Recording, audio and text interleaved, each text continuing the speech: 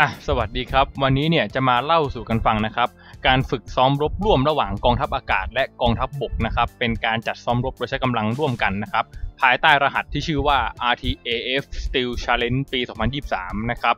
โดยจัดซ้อมขึ้นที่สนามฝึกการใช้อาวุธทางอากาศนะครับ จังหวัดลบบุรีนะครับ วัตถุประสงค์ของการซ้อมรบครั้งนี้เนี่ยก็คืออย่างแรกนะครับ เป็นการทดสอบการปฏิบัติงานด้านกำลังหน่วยรบของทหารอากาศ และ หน่วยสนับสนุนการรบนะครับทำให้ทราบถึงข้อจำกัดและบทเรียนเพื่อนำไปปรับปรุงในการปฏิบัติงาน เพื่อตอบรับกับสถานการณ์ที่สมจริงได้มากยิ่งขึ้นนะครับจุดเด่นหลักเนี่ยก็คืออย่างแรกนะครับ เป็นการทดสอบการปฏิบัติการร่วมกันระหว่างกองทัพอากาศและกองทัพบกนะครับโดยมีกองทัพเรือเนี่ยเป็นผู้สังเกตการ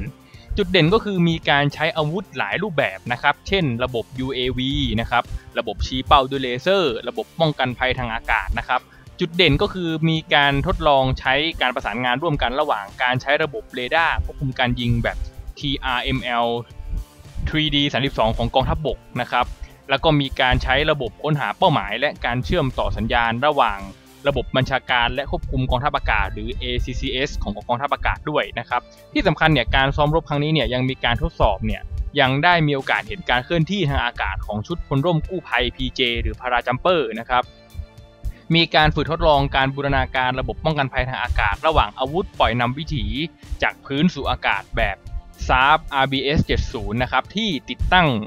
บนรถบรรทุกนะครับ ของบริษัทไทยรุ่งนะครับ TR Transformer 4x4 ของไทยแล้วนี่เองนะครับ และมีการทดสอบการปฏิบัติการอาวุธปล่อยนำวิถีจากพื้นสู่อากาศนะครับ Tail Star Strike แบบอัตจรนะครับ การซ้อมรบแบบนี้เนี่ยก็คือเป็นจุดเด่นหลักก็คือเป็นการเตรียมกำลังนะครับทำการประสานงานร่วมกันระหว่างกองทัพบบกและกองทัพอากาศนะครับ เนื่องจากว่าในการทำการรบจริง ๆ แล้วเนี่ยทั้งกองทัพบบกและกองทัพอากาศเนี่ยไม่สามารถตัดขาดออกจากกันได้นะครับ เพราะการจะยึดพื้นที่เนี่ยก็ต้องอาศัยกองทัพบบกใช่ไหมครับ ในขณะเดียวกันนะครับ ถ้าจะป้องกันภัยจากเอ่ออย่างกองทัพอากาศเนี่ยถ้าจะป้องกันความเสี่ยงจากการโดนโจมตีเนี่ยก็ต้องให้กองทัพบบกเนี่ยยึดพื้นที่ให้ได้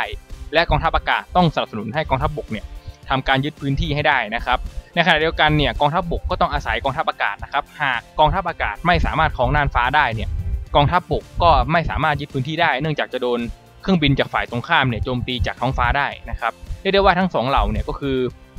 เป็นเหล่าทัพที่ในทางสากลแล้วเนี่ยต้องปฏิบัติงานร่วมกันหากเกิดสงครามขึ้นมานะครับ การฝึกร้อมเอ้ยการฝึกซ้อมรบครั้งนี้เนี่ยก็ถือว่าเป็นเป็นนี่เป็นหมายอันดีนะครับที่เป็นการฝึกประสานงานร่วมกันระหว่างข้ามเหล่าทัพนั่นเองนะครับโอเคครับเจอกันใหม่วิดีโอหน้านะครับ สวัสดีครับ